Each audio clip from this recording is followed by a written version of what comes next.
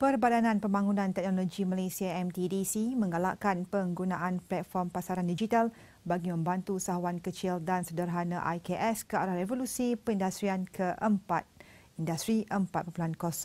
Ketua Pegawai Eksekutif MTDC, Datuk Nur Halim Yunus menjelaskan ianya bagi mengembang serta meningkatkan produktiviti IKS sehingga ke rantau Asia.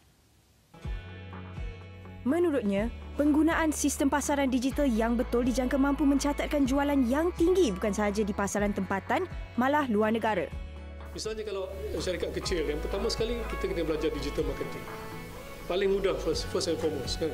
Kita kita kadang-kadang kita mungkin pengeluar tapi sebagai bila dalam digital marketing kita consumer, kita beli barang untuk our personal product, menggunakan uh, menggunakan platform digital.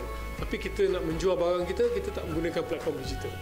Malahan, ujar beliau, IKS juga boleh mengembangkan syarikat mereka iaitu bekerjasama dengan syarikat teknologi tempatan dalam menaik taraf mesin mereka.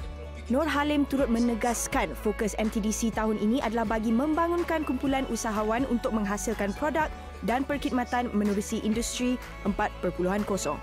Bagi tujuan itu, MTDC akan mengadakan beberapa bengkel penggunaan teknologi dalam industri 4.0 di seluruh negara.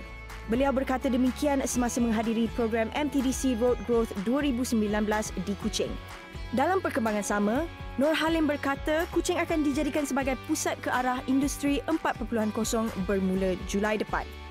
Dan kita merancang untuk men- men- mengadakan Center of Nine Pillar tu di Kuching juga sebagai salah satu node dia. Ya. So kita ada di uh, UPM MTDC sebagai centernya dan kita akan ada di Pulau Pinang, Johor, Terengganu, Kota Kinabalu dan Kuching. Beliau percaya dengan adanya pusat tersebut, MTDC akan mengadakan pelbagai program mengenai industri 4.0 sebagai usaha mengembangkan produk dan perkhidmatan IKS di negeri itu.